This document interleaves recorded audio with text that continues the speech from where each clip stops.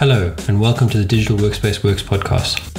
I'm Ryan Purvis, your host, supported by our producer Heather Bicknell.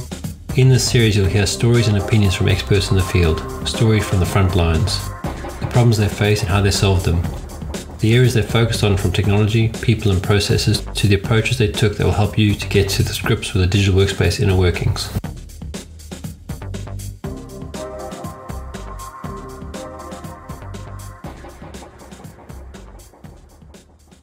Super. So, do you want to introduce yourself to to our audience? Yeah, sure. Um, hi, everyone. My name's Diane Nield. I'm a director of uh, Lead Coach Manage, um, which is a consultancy. We specialize in um, training and developing future leaders and also um, I'm a master practitioner for well-being in the workplace, which uh, has, is uh, an area that is very busy at the moment.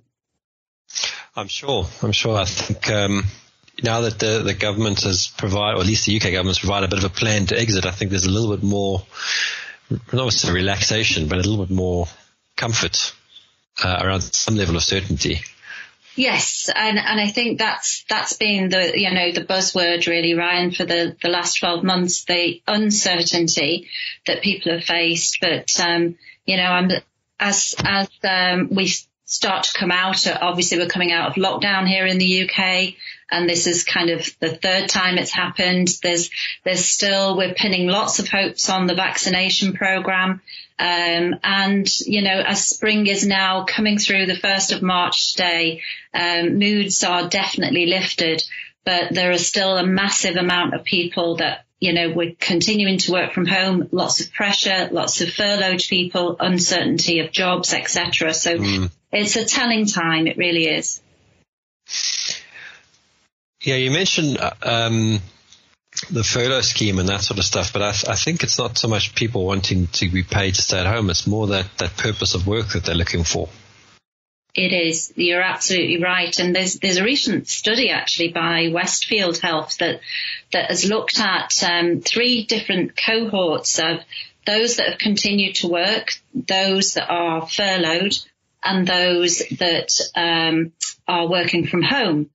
And the, the, there's a lot of um, commonalities between the three groups in that they all are worried about the future of their jobs but they're looking at people, so those that have continued to work, so sort of like manufacturing, etc., plants that we work with who um, who have to go in, and there's lots of COVID testing going on all the time.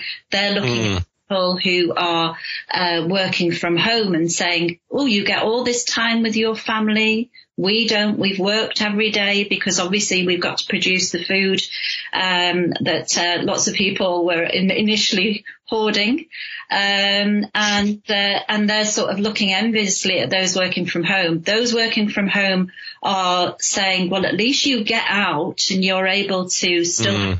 Purpose, uh, whereas we stare at a computer eight to ten hours a day tend to they tend to do more work because they want to be seen that they're working as well. Um, mm. And uh, and then you've got the furloughed people that some of them have said they're living their best lives because they've really tuned into exercise, etc. But many have lost that sense of purpose completely, um, and. Mm.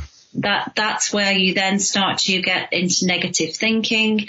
Uh, moods definitely are pulled down, um, losing routine, um, uh, etc., and actually seeing when what is my future. So, so there's an awful lot of people that I spare do one-to-one coaching with that are really struggling, really struggling.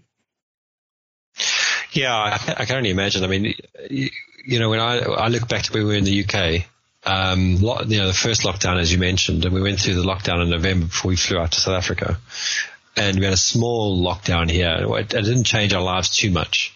Um, but been, been, you know, going now, we're a year down the road, almost a year and well, three weeks time.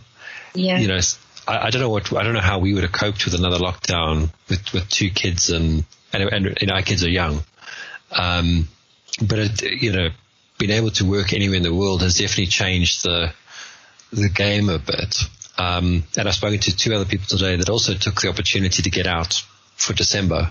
You know, to Greece and to, uh, to, to one place in Greece and one place in Cyprus. Yeah. Um, where the risk has been a lot lower, uh-huh. and and they you know said that's that's the new normal for them. They don't have to be in an office every day, so for them it's a psychological safety thing um, and a family safety thing. Yeah, um, and that's that's going to be the difference. You know that um, I was on a call with some um, leaders last week, and there's an awful lot of talk. You know, uh, things like absenteeism and presenteeism are seen as all-time lows at the moment because everyone's mm. at home. Um, and if you, I don't know whether you've noticed, but hardly anybody's got a cold at the moment either because we're socially distancing well, which is great. Yeah. Um, but you know uh, that ability to work anywhere in the world, and I think that's what's changed about our business as well. Um, in in lockdown one, we we could, you know, the business could have just gone down because we we were uh, going out to see our clients, maybe mainly UK based clients.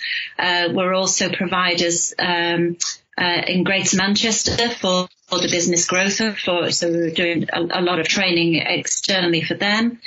Um, so we were out of, of our homes all the time seeing clients. So we had to sit back and say, right, well, how do we look at this? What, what, how can we actually still keep this business going? So it was, mm-hmm. it was mm-hmm. turning to the conferencing that enabled us to do that. And going back to your point of going to Greece and Cyprus, as soon as lockdown opened each time, my husband and I, we were straight on, uh, you know, out on holiday to Portugal and, uh, and Tenerife just before Christmas, um, wherever we could go because we can still run our business from wherever mm. we are. So long as we've got a decent Wi-Fi code, we can still run it. Yeah. Which is great for us. Yeah. I mean, I think that's, that is so cool, um, that you could do that because, you know, if you look at the, the, I mean, what most most roles are actually remote based roles if you think about it, which means from a business point of view, you can actually hire anyone that's within a plus or two, plus or minus two hours time zone. Um, yeah. Yeah. You know, yourself. You know, it's, it's unfortunately those, as you mentioned, the sort of frontline operators, uh, you know, a hairdresser, a cook, a cleaner, they're the people that, you know, their job still is at, at, at that location. Um, and that that's really telling for uh, especially us ladies that uh, uh, I was looking at a photograph of me the other day, uh, 12 months ago, and my hair is so much longer now, so much grayer. I've even got my husband doing my roots at the moment. You know, things things are really um, changed in our home, um, and but he won't let me cut his hair, which I'm quite disappointed in. Oh, I can understand that took me a, a, couple a couple weeks. I got to about the you know during lockdown one. I think it was about six weeks before uh, I let my wife cut my hair. Um, but I don't, I don't have a lot of hair to work with, so I've got protected. Um, you mentioned something, and I wanted to go back to it. Oh, the the, the being being always available. Um, yeah. aspect to working now because you're at home. Um, I mean, I went through a bit of guilt initially where I felt like I had to be working all the time because mm. you know you'd pop out to help the kids downstairs, or you'd be cooking dinner. We did the um, uh, what's it called where they deliver the food in a box and you cook it. Oh yeah. Um, Fresh. it was called. Um, HelloFresh, yes, we did HelloFresh. So, you know, I used to pop down at five o'clock and cook that meal, but, you know, other guys would still be working. So you, while you're cooking, you're still getting messages on Teams or whatever it is to, to carry on conversations about stuff. Um, and, and I had to put boundaries in. Um, especially now that I'm a South African, it's two hours ahead. You know, I've got to balance that as well. Have you seen much of that in your research or your discussions with other customers? Um, I, I, think boundaries. Um, so, so the area that we work in is called WRAW. That stands for Workplace Resilience and Wellbeing, um, and it looks at uh, what we call the five pillars of resilience. One of the pillars is energy, and when you hmm about how you build your energy, we look at sort of, you know, the physical aspect, nutrition, hydration, etc. But a big component of energy is boundary setting. So we have long conversations with individuals and teams around what boundaries are you going to put in place? And, and when we, when we look at a team or a, a whole organization and one of the pressure points in that system is workload, um, and not being able to step away from the computer, it's about taking ownership of that and sort of saying, how can we change that? What boundaries can we set? There is, if we were in an office, would we behave the same way? What is mm. making us behave in this way that we feel that we can be available to everybody all the time? So it's about changing that mindset and communicating with your colleagues that they will see that change as well because mm. just put a boundary uh, in to say that, uh, you know, I won't be replying to emails between I don't know, 12 and 1, so I can sit down and have lunch with my family. Um, people, some people might not like to see that because they've been used to seeing you at that time when they've wanted it or putting times in your calendar when you've not really controlled that. So it's very important to, when you do set your boundaries, that you inform and communicate out why you're doing it. And people are very accepting of it. You know, I'm working mm. with a big global pharmaceutical company at the moment and they are absolutely encouraging their people to sort of say, take time out, go for a walk, leave the screen for every, every 20 minutes, walk away from the screen, check your eyes because, you know, you can become, you can get to the point where you're finding more work to showcase that you're still there to everyone. Mm. And you don't need to do that. Um, and going back to your point about psychological safety, so I'm doing a, a, diploma in psychological safety at the moment, and there's an awful lot of case studies that we're looking at through. This is through Professor Amy Edmondson's work from Harvard, um, and you know a lot of the time is is that people don't speak up, people don't feel that they uh, have a safe environment to speak up about and say how can we change things because they may be judged they may feel that they might be judged or put or set back for saying we this needs to change. So they just yeah. carry on on that cycle. Yeah, it's it's interesting how you. I mean, so so in the UK, I worked one way, but I got to South Africa, I, I slightly changed, and most of the, the reason for the change um, was a two-hour difference. So because I was, we were two hours ahead, I, I meant, so in, in, the UK, I had an hour booked out for my sort of brain work. Yes. You know, because what was happening, if you didn't book something in your diary, someone else would book something in your diary. So mm-hmm. you'd end up with, you know, like today, it's just back to back calls the whole day. Yeah. Um, so I used to have a slot booked out, which was my one hour of it used to be it would either be fitness or it would be time with the kids or whatever it is. But it would be a break from screens and, and all that sort of stuff. And then we came here, so I cancelled that slot. I said, well, I don't need that slot because I've got all this time in the morning to go to gym and you know yeah. do stuff with and all that sort of thing. But after about two weeks of not having that break and just doing back to back calls, you get to sort of three o'clock in the afternoon and you've done nothing, just sit yeah. on calls and you're, and you're mentally exhausted because all you've done is be switched on the whole time. So I've had to put it back in again. Now, obviously, every so often I have, have, um, a call that goes in there, but at least it gives me some sort of buffer before the end of the day. Yeah. So that you can actually do something besides just talk to people on the phone all the time. Absolutely. And, and sometimes, you know, uh, there's a few leaders now that are, are actually putting on their, um, on the bottom of their emails, their signatures. Um, sometimes you might want to speak to me on the telephone rather than, you know, we've got into this habit of having uh, virtual conferencing all the time and that, that, you know, you have to be so attentive in that point that it's, if you're in a, if you're in a boardroom and people were, um, in conversation, you'd be looking elsewhere, you'd be, um, you know, drinking water, you'd be, you'd be writing things down. You're not constantly staring at a screen as we are now. And that's mm. where the exhaustion comes in. Um, but so it's, I'm so pleased to hear you've gone back to, um, putting that time back in your calendar. Uh, because you were, you know, you made some really fantastic changes. The first time we spoke, I was really impressed at how you'd recognized that you needed to take that t- time to step back, recoup, recalibrate and go again. And that's what it's all about. Yeah, I think, I think maybe we should go through some of that. So we did, um, we met on the Virgin Non-Execs yeah, group. Yeah. Um, and then we sort of chatted and, and I did the survey, this the WRAW survey. I don't know if you want to give some background to that first and then we can talk about sort of what came out of that.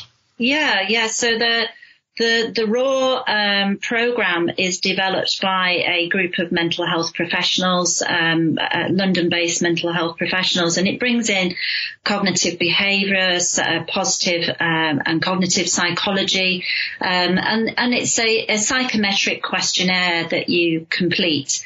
Um, it takes about 15 minutes. You know, it's an easy, it's a link I send you, um, but what I find from it is it not only gives me real insight into an individual, it's a great platform for conversation.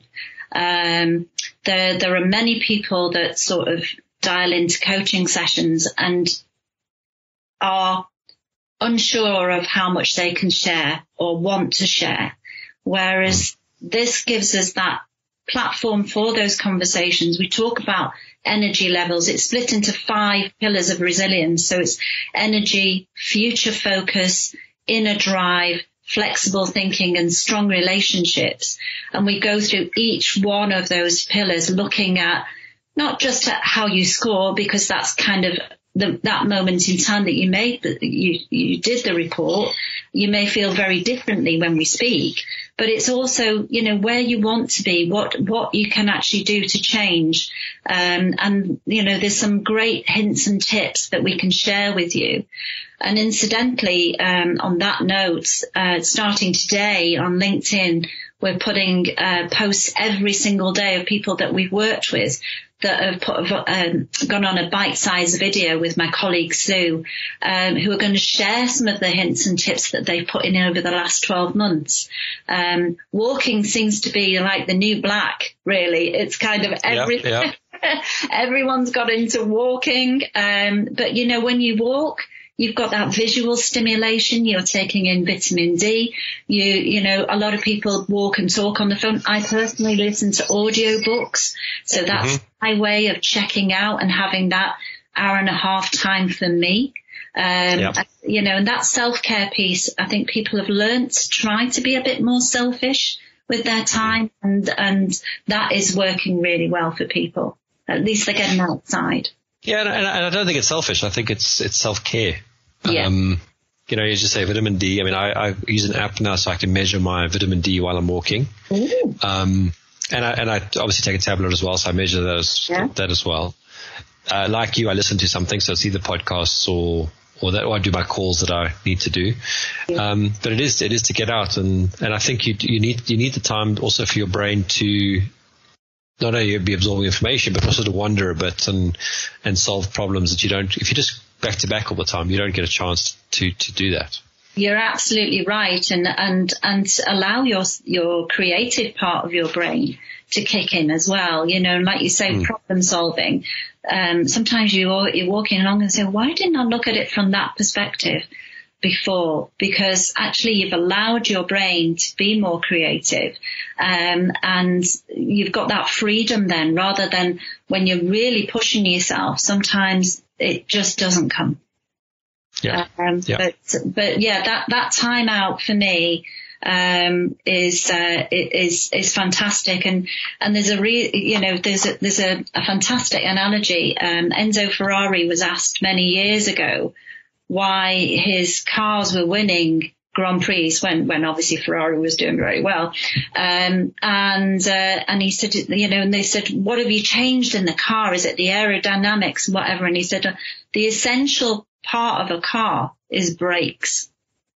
Mm. Uh, because a track has corners. So you've got to learn to brake and then mm. again.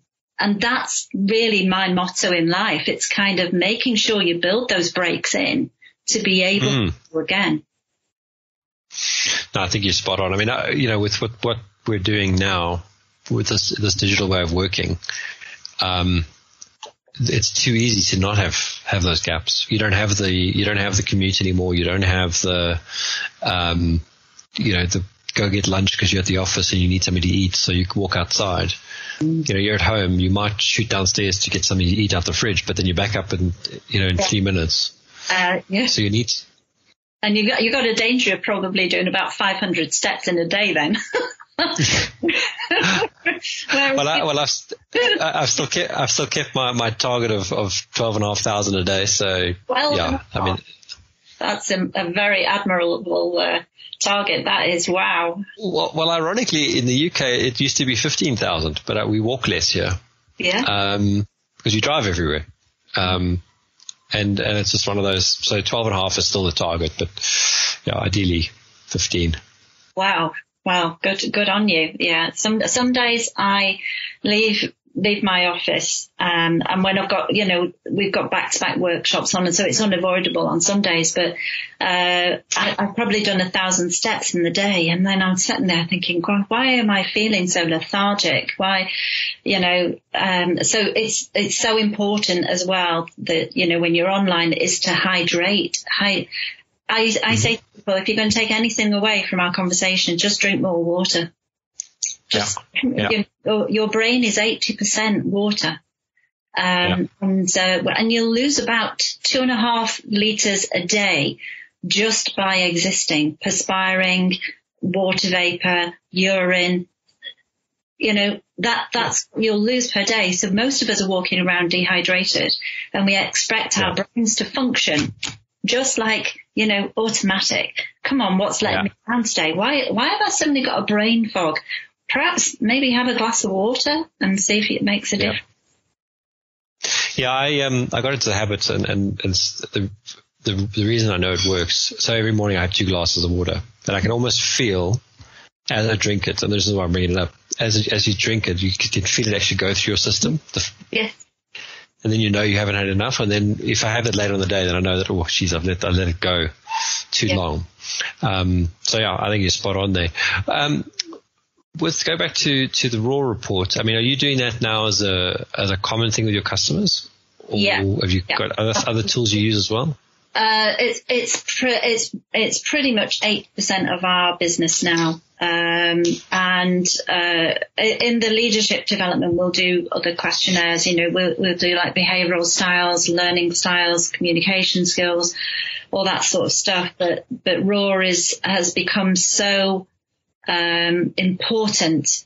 Um, you know, and, and companies are now recognizing this. You know, for every one pound that's invested, in in this area of um, and we work in sort of the, the, resilience not mental ill health we're building resilient teams and resilient mm-hmm. individuals um, if you invest a pound on average you're getting about just over five pounds back um, oh wow some uh, and that's the latest Deloitte data um, so they they analyze this every two years um, and some some organisations have really changed their color, uh, cu- culture and that of psychological safety.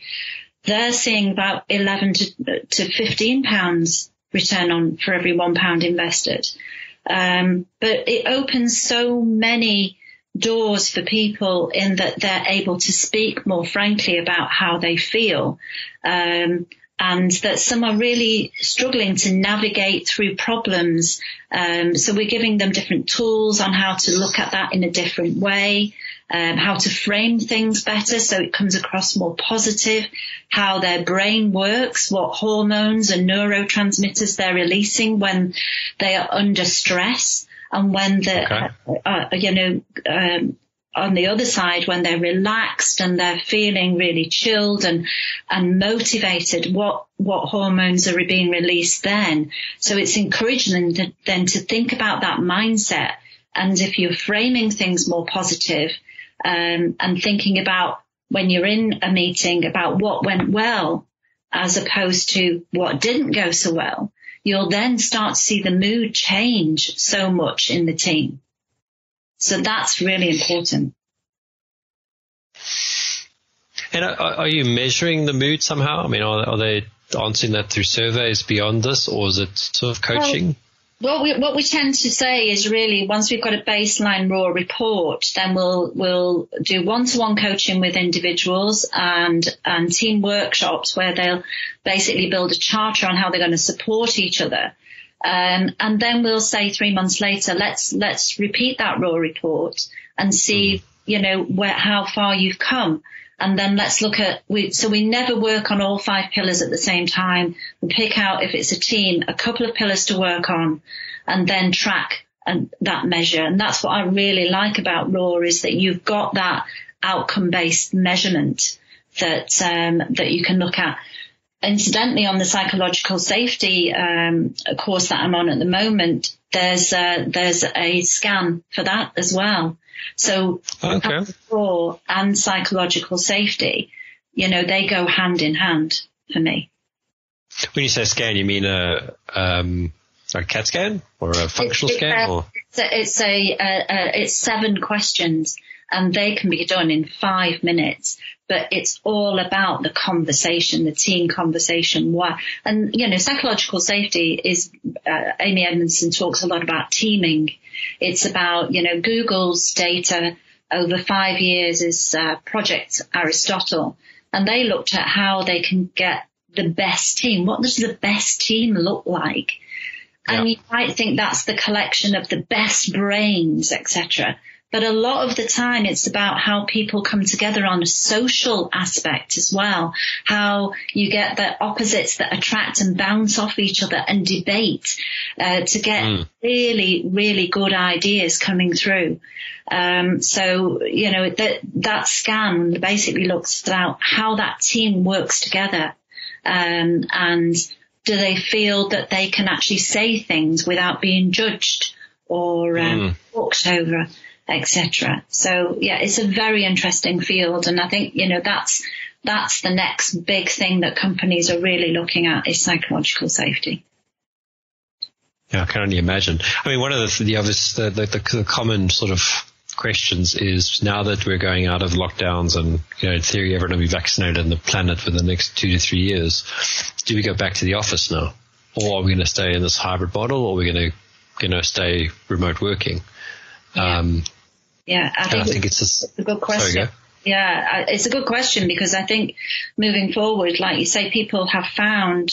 I mean, Sue, Sue, my business partner, and I, we'll definitely stay online because we're working with global teams now. We work with China, Japan. The we've got the USA this afternoon.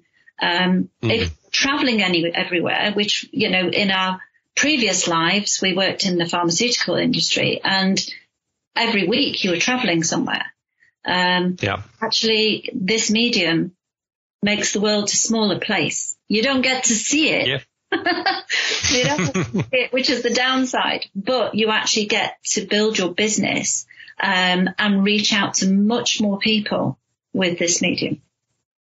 Yeah, no, you're so right. Because the other question is, you know, if you look at the high streets and, and the malls, you know, people have gotten so used to online shopping because yeah. they've had to get used to it you know, will those survive? And I think they, I think both will survive. Both, story, you know, going back to work and and going back to the malls because there'll always be someone that wants to still do it face to face. Because now now it's not the only way, and those right. things will just balance out naturally.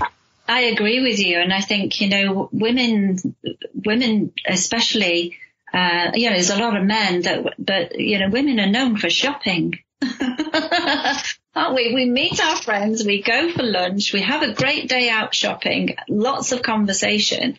If we just did that online, there's there's that element missing. And I I'm somebody I'm I'm very kinesthetic and I like to feel uh, clothes. Mm. To be able to try it on, see how it looks, and you know, ask other people how it looks, and we're losing a lot of that interaction. Uh, so I, I do hope that we won't have um, everything online still because I think that that just that getting yourself ready, going out, meeting friends, that whole social interaction, it, uh, you know, I, I, miss that terribly. Yeah, I saw a great um, poem in um, a doctor's office about. I hope that we through this we realize the um, the value of other people. Uh, shop shop shelves that are full, um, you know, all the kind of things that, that we've all. I'll, I'll try and find it and send it. Um, that, I think that's what we we needed a reset in that sense. It was too much of a rat race. Everyone just trying to go faster and become more robotic, um, and it, and you've almost had to be forced to slow down. Yes. Um, and to appreciate what you can, what you can't do anymore that you could just, you just took for granted you could have done before.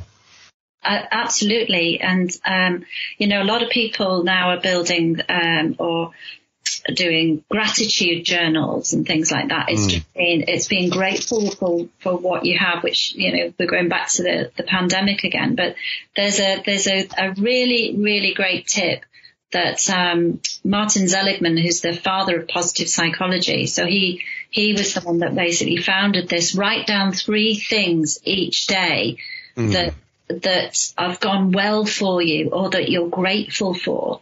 And if you do that, you know, by the end of the year, you've got over a thousand things that you have found have gone well for you or, uh, mm. or you're grateful for. And, and that's fantastic to reflect back on and going back to, you know, how you change your mood and things, just looking at those things that have gone well in the day. And it may be, you know, the sun was out today. So I actually I went for a walk um, I've just been down the road lo- looking for a cat and my cat following me down the road. And that actually made me happy because the, it's like mm. looking for the cat. But, um, but you know, th- those little things we need to remember when people say, gosh, all I do is work and I've got nothing else. Just think about what's gone well for you that day, you will find three things. And his data absolutely proved it. You know, he, he was working with 50 of the most depressed people, uh, whose depression scores meant that they were so low, they, they struggled to get out of bed. Um, and just doing that in one week, writing three things down each day, actually, when he tested them at the end of the week, their depression scores had come right down and their happiness scores had gone right up because they were just changing their mindset. Yeah. Yeah, I can only imagine. I mean, it's something I used to do. I'll, I'll, be honest, I don't do it as much in the sense of writing it down, but I, I, I kind of live my day through pictures. So I always try and take three or four pictures a day specifically with the kids doing something. And then that goes into a journal, which, you know, like I got a, a reminder today of 11 pictures that we took the other day. So, you know, that's, I see it that way. Yeah. Um, so I definitely, I definitely agree that it works. Yeah. I just think you got to find what works for you. Absolutely. Um, yeah. Yeah. Yeah. Cool. So, so what do you see the future like then? I mean, what do, what do you see? How do you think work will go? How do you think the digital working will go? I think, I think there will be a mixture of both the office based and, um, you know, digital, I think is here to stay. The, uh, incidentally, you know, my, in my previous roles, even though I, you know, there was travel involved to different countries, I managed teams who all worked, who were all home based. We weren't office based.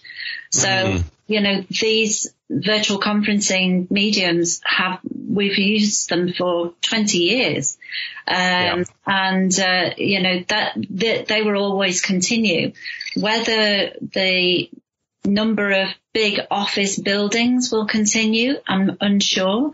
I would hate to see mm-hmm. them uh, not being brought back to life. It seems such a shame. But I think there will be the combination of the two. And a, and a lot of companies are, you know, certainly at the beginning of lockdown one said, you're not going back into the office this year. Here's the computer stuff. Here's everything that you'll need to work from home. Um, mm. And, and a lot of, a lot of organizations have been very, very supportive of their employees, um, especially those that are homeschooling too, because that's been so tough. Yeah. Yeah. Well, I'll be honest, that's something that we were worried about. Hence we, hence we took the flight out. Um, not that our kids were old enough to be homeschooled, but just to, just to have the school available, um, and, and, you know, place for the kids to go every day. So, Okay.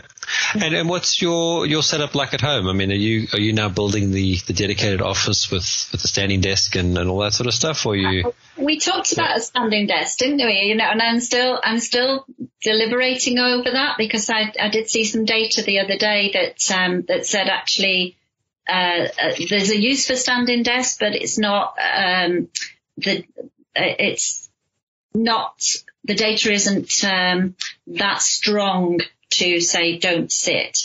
I think mm. what it, what we've um, what the data did say was what we've got is now big, easy backed office chairs. So we tend to slouch. Um, mm. That's not great for our skeleton. Um, but I do find myself um, standing up quite regularly since I talked to you about your standing desk and, uh, and, uh, uh, it's hard for me to present. Uh, if I was in, in a, in a room, in an office, I would always be standing up to present. So it's strange. Mm. I find it difficult. Maybe it's because I just haven't got my equipment set up in a way that allows me to do that just now. But um, I'm still, I'm still um, thinking about doing that because I think uh, it, I, I'd feel more grounded as well. Yeah, I think it depends on what you're doing. So I, I like the standing desk for talking, so like, like yeah. this and and that. But if I'm doing something that requires like like if I'm studying or I'm writing a document or something, then I like to sit for that. Let's sit. Yeah. And I think there must be something there must be something in your brain that says because you're sitting, you can focus more. Yeah. Whereas if you're standing, it needs it needs to be more aware or something. I don't know. Um, so, that's that's normally how I do it. Yeah, so I've got an office at home. I've um, I've always had this office and um, my husband also works from home now. Uh, so he's, uh, we've converted the bedroom for him. So he's upstairs and I, and I do get the shout down, um, can you put some more paper in the photocopier, please? Um, on a regular basis, uh, from him. But, um, yeah, we seem to coordinate quite well and are re- very respectful of each other, especially we're on, if we're on conferences as well. Uh, so yeah, it, yeah. it, works well for us, but uh, I do, you know, Sue and I do are able to go into an office and uh, we've done presentations. We did um, in September. We did a whole three day virtual conference for a large uh, organisation, um, all all on WRAW. So, you know, um, uh, over 100 people all had a WRAW report and it was all aggregated up. So they got the whole organization view. Um, and every day we, we did, um, videos to them and because it was different time zones, it was a global conference. So we were online videos, live conference, live breakouts.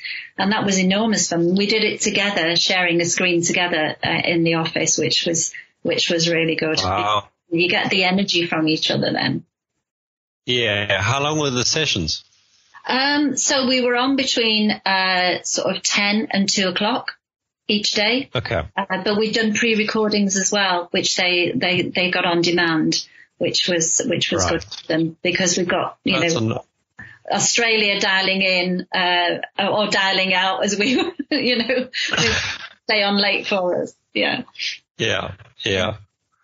No, that's. I mean, yeah, I think I think those those sort of eight hour workshops days are also gone, thankfully. Oh, yeah, in sense of more more more focused short short periods. Yeah. Yeah. yeah. Great. I think I think um, of the full day workshop. Um, it, you know, it's too much to ask of people to be fully uh, in the in the moment all the time. It's just you, you know, it's better to have these short, sharp bursts. and I I feel much more energized from them. Oh, totally. Uh, and I think there's also that, that back back thought about what are my kids doing or what's happening downstairs in the house that I need to, you know, so, so having the breaks also also yeah. helps. yeah. Great. So so where can people get hold of you if they want to get hold of you? Um, yes, so the uh, we have a website, uh, www.leadcoachmanage.co.uk, so all one word. Um, and that basically comes from the way we were trained. So um, when we, we both met, gosh, 25 years plus ago, uh, working for GlaxoSmithKline, and we had the pleasure of being putting through so many qualifications, and uh, at the time not really appreciating it, but very much appreciating it now. Um, and uh, leadership first, basically lead your people, set that vision, get them to follow you, uh, coach them to be more autonomous and be creative, and then manage them when you need to. Mm-hmm.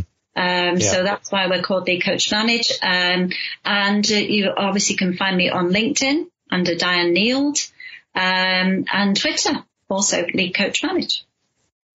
Um, I just just as you were saying that, I realized there's a book that I wanted to recommend to you, which is "Turn the Boat Around," "Turn the Ship Around."